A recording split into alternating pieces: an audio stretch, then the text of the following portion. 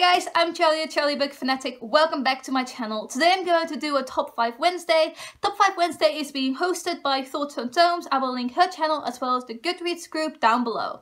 The topic for today is your favorite non-canon ships and believe me, believe it or not, I had quite a hard time finding my favorite non-canon ships. If you don't know what non-canon means, this is basically about all of the characters you would have wanted to pair up together, but they didn't end up together. So you can imagine there are being mentioned some spoilers. If you think roman uh, romantic relationships are spoilers in the book, then there are going to be some spoilers in this book. None of these books are full-on romance novels, so I don't know. I would consider it spoilery, but maybe you don't and you just want to hear about it.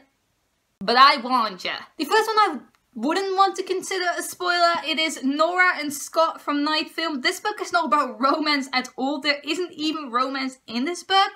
Um, but Scott is the main character in this book. He's a journalist. He is kind of researching this horror filmmaker called Cordova and he's becoming obsessed with this filmmaker again like he was before.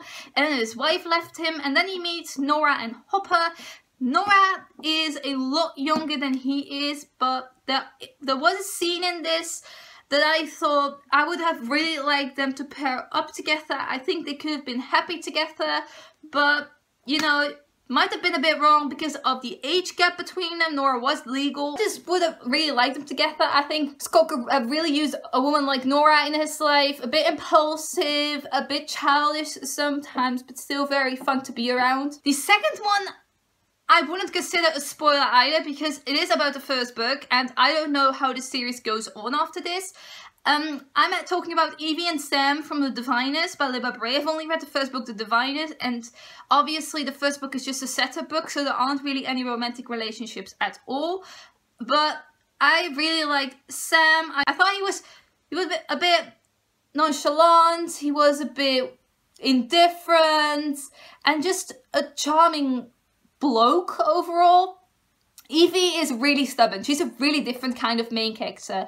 And a lot of people actually dislike her, but I thought Evie was such a breath of fresh air.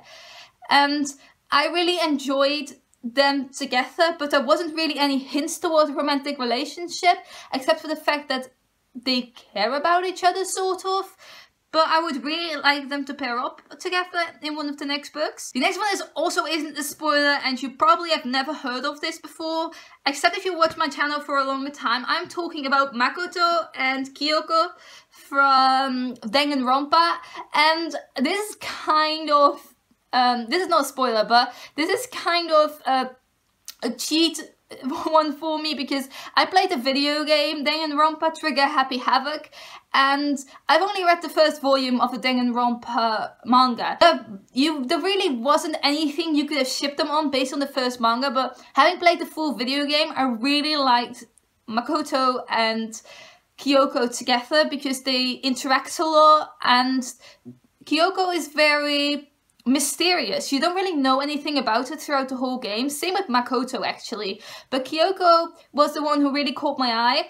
This isn't a romance game by the way. This is a game where um, or story where the characters have to kill each other off to survive and there really aren't any romantic relationships throughout the whole series but I think if there were any romantic relationships, I would have liked Makoto and Kyoko to be together. Okay, this one, the next one is a romance series and it is a summer series by Jenny Han.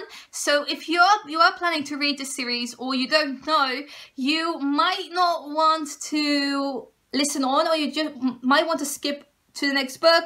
I will put up my hands uh, until the spoilers are gone. I'm going to talk about it now. So in the second book of the summer series, there is, you obviously have Conrad and Jeremiah, and Jeremiah is the one that Belly, the main character, wasn't originally in love with. Belly was in love with Conrad for the first book, and for the sec in the second book, Conrad wasn't the guy she knew all along. He was kind of standoffish. And then there was Jeremiah, who was really sweet.